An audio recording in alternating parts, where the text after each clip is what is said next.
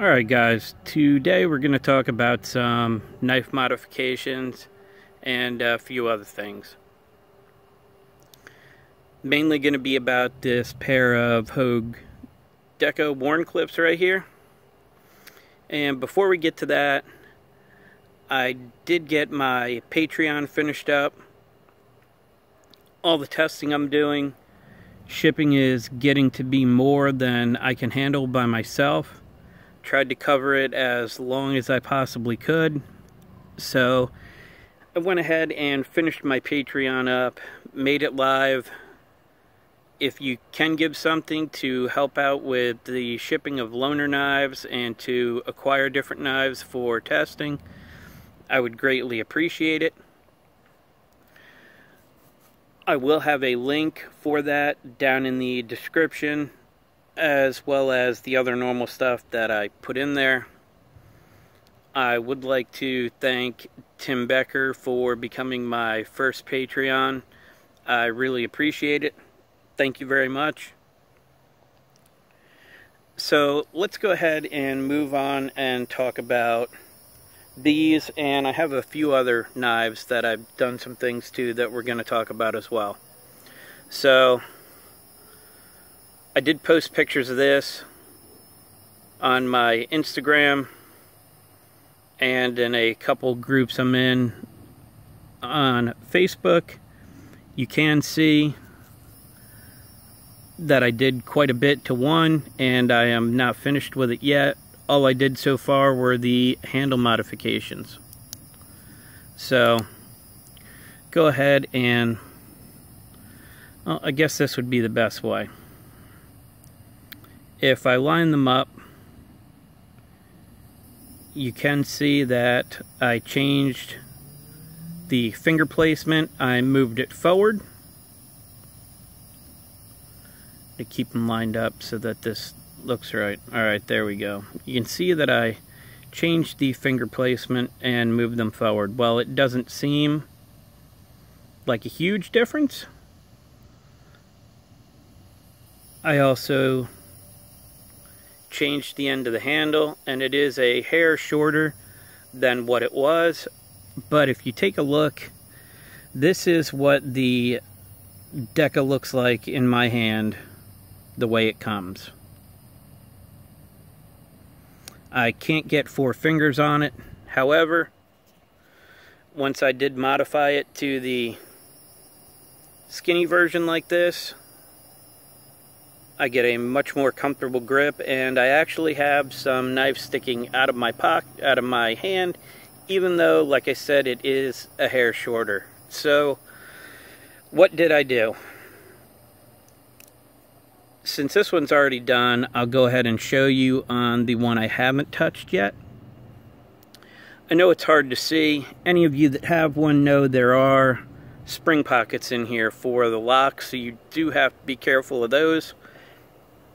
However, although I did thin it out a little bit on this one, there's still plenty of meat there, probably more G10 than what Spyderco would leave you on a PM2 or Para 3.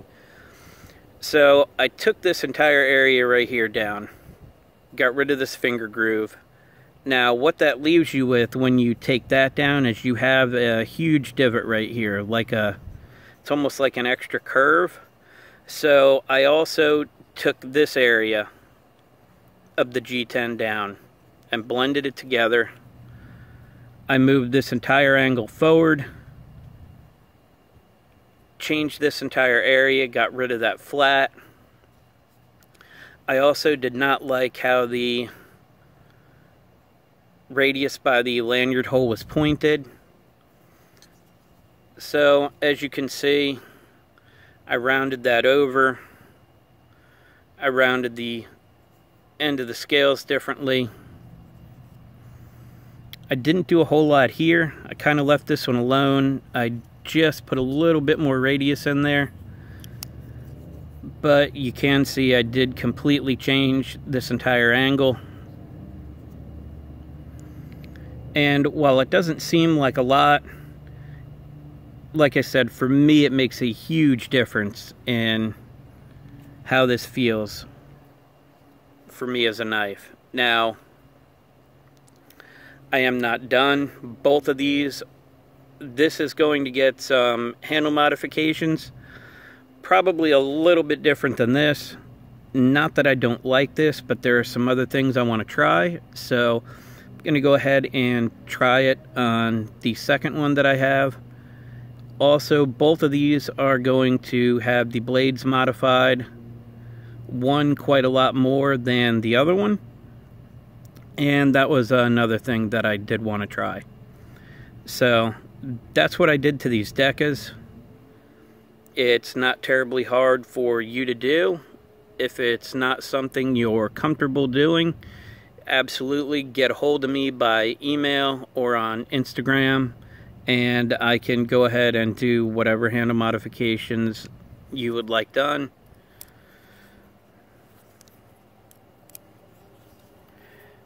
So that is the pair of Deka. I also went ahead and did an acid brass coating on this Positron. It's not sunny out today, it's pretty overcast. Don't know exactly how well that's coming through. but I did do the entire blade. The wire clip, I don't recall what metal they use for the wire clip exactly. It does take an acid finish, however, it does not get as dark as most blades do.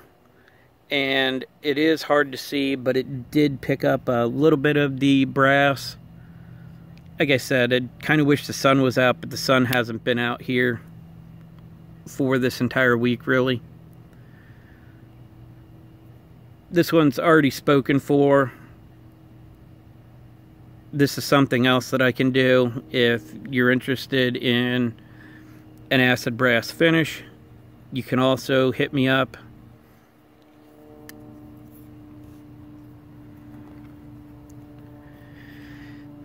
this isn't so much something that I modified as a different set of scales that I bought. These are caveman scales for the Manix 2. Steve also does them for the Bug Out and the Paramilitary 2. And I do have a scale off of a Manix right here. So we'll go ahead and line that up to the hardware. and as you can see doesn't want to focus good it does change the finger choil area a little bit it does change the forward finger area it takes this hump right here in the scales out the back follows most of the line until you get to the extra piece where the handle's extended. It is a lanyard hole delete and it is straightened across the bottom here a lot more than the Manix is. Now, don't get me wrong. You guys know I love the Manix. I do not find it to be uncomfortable at all. However, I absolutely love these caveman scales. They make it even more comfortable and I don't really do lanyards on many knives, so I'm really happy that the lanyard is deleted.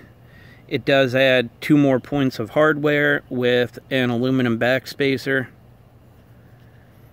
And since you lose the liners and original scales from the knife, this actually takes, if you're doing a standard Manix that is 4.9 ounces, or whether it is a Sprint Run Manix that is 4.2 ounces. Once you put the caveman scales with the redesigned handle on, it takes this knife down to 3.4 ounces. So,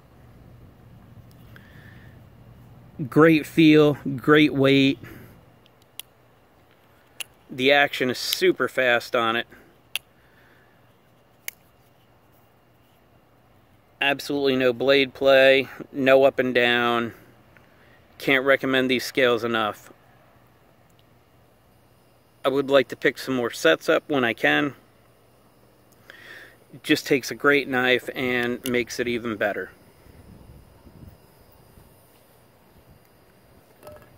And go ahead and start with this one. I didn't do a whole lot to this.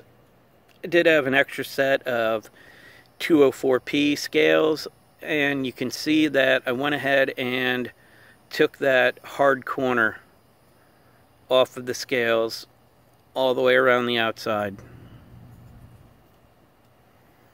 I have been carrying this for the past week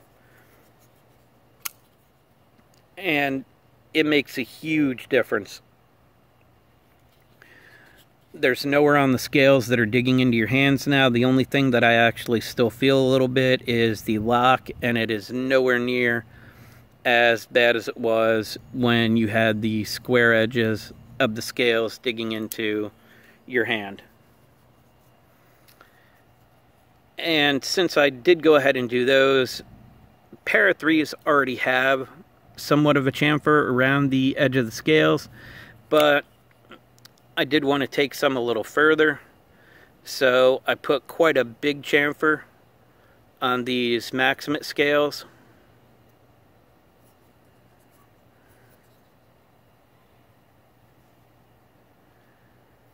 And again, just like I thought, it made an even bigger difference on the Para 3 for me.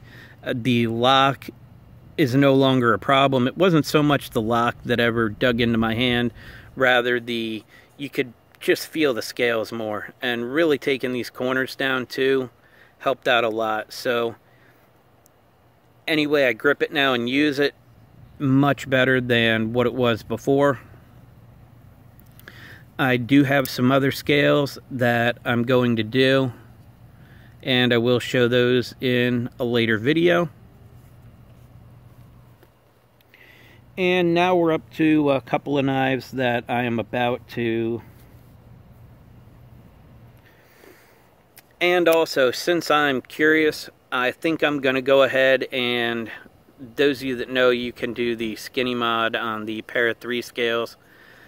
I'm curious to find out what it feels like, so I am going to go ahead and take this section down right here and go ahead and do one skinny and see how that actually feels. That's something that I want to do to some of my other Para 3s or not.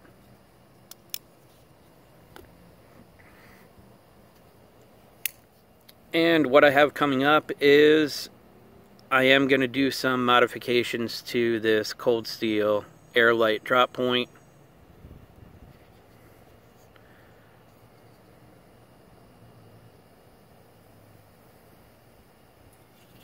And you will see another video on this one as well as a couple other knives.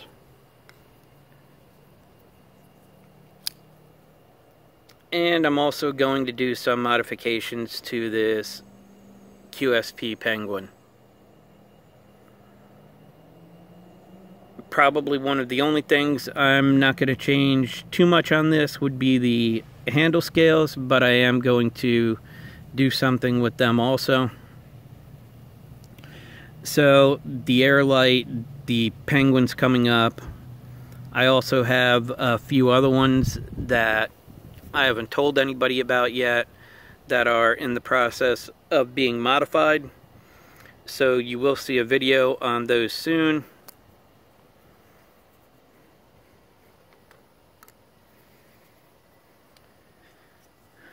And that's about it.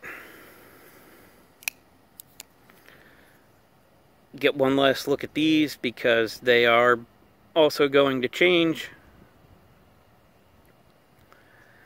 I did do some edge retention with these and you guys will see that in an upcoming video. So that's about all I have. If you can join my Patreon, I would really appreciate it. Like I said, the link will be down in the description below that's all I have. As always, I appreciate your time, and thanks for watching.